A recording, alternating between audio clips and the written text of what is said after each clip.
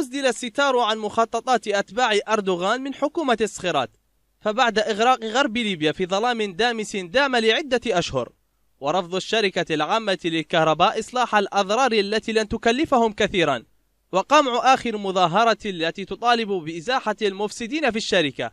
كانت كل هذه الأحداث تمهيدا من حكومة الصخيرات لمشروع تركي جديد يهدف لسلب أموال الليبيين.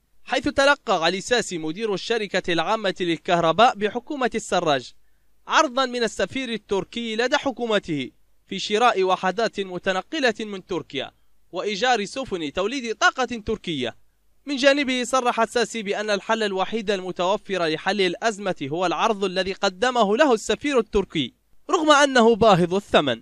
أزمة مفتعلة هدفها غسيل لأموال الليبيين في اجتماعات مشبوهة تخالف القوانين الدولية فلا يوجد تفسير يبرر اجتماع سفير بمدير.